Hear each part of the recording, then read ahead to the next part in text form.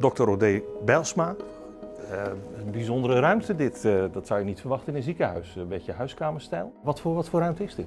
Dit is een uh, ruimte die we hebben geregeld voor de jongeren met kanker. jongeren van 18 tot 35 jaar, er zijn er niet zo heel veel van die kanker krijgen. En die vinden het heel fijn om zich even terug te trekken en met elkaar nou ja, te praten, een spelletje te doen, even te chillen, televisie te kijken. En misschien zelfs wel op de home trainer te zitten om eventjes wat vocht weg te trappen van van de kuur. Uh, echt een plek om even thuis te zijn. En ja, even, even uit, de sfeer, uit het ziekenhuis. Uit de sfeer van ja. het ziekenhuis. Ja, ja. ja, ja.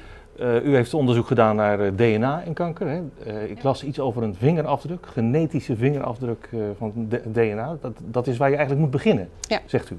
We weten nu beter dat als je het profiel van de tumor gaat bekijken, dat er allerlei variatie in zit. En dat patiënten ook anders reageren op medicijnen. En het onderzoek gaat door. Ja, dat gaat door. Ja, ja, zeker. Nou, wij gaan er ook over doorpraten. Dat doen we op 12 maart aanstaande in de Open Huis, de Week van de Zorg, van 2 tot 4 op NPO Radio 5. Op die datum komen wij vanuit het UMC Utrecht.